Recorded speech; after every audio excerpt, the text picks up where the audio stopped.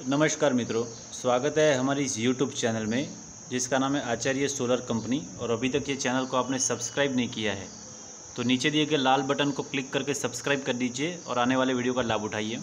मित्रों, ये सिर्फ़ और सिर्फ़ इन्फॉर्मेशन वीडियो है। जी, ये सिर्फ़ और सिर्फ़ इन्फॉर्मेशन वीडियो है, जो इन्फॉर्मेशन शेयर करने के लिए हम लोगों ने बनाया हुआ है। तो आप देख सकते हैं मेरे सामने एक बहुत ही बड़ा सा कैपेसिटर है। तो आप अगर सोच रहे होंगे कि ये किसके काम में आता है तो ये कैसे काम करता है?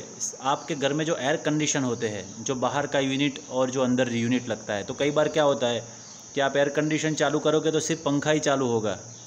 अंदर का कंप्रेसर चालू नहीं होगा तो आपको ठंडक नहीं मिलेगी, सिर्फ़ पंखा ही चालू होगा। बार बार चालू करने पर आपको पंखा ही चालू करना है पंखा ही होगा कंप्रेसर चालू नहीं होगा। तो ये दिक्कत हमारे ऑफ़िस में भी आई थी तो हम लोगों ने उसको चेक करवाया। तो ये पूरा सा बिगड़ा हुआ है ये फट गया है, आप देखिए।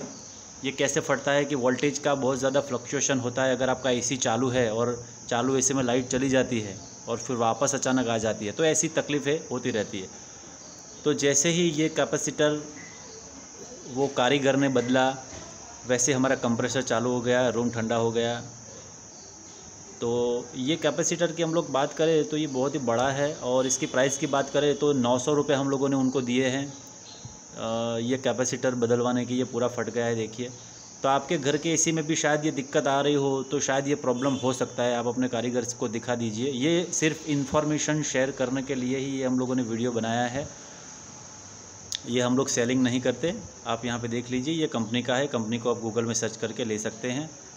और ऐसे ही इन्फॉर्मेशन शेयरिंग के वीडियो भी हम लोग डालते रहेंगे हमारी चैनल पे। तो अगर ये वीडियो आपको पसंद आए तो इसे लाइक करें शेयर करें और हमारे यूट्यूब चैनल को सब्सक्राइब करें और आने वाले सभी वीडियो का लाभ उठाइए। Thank you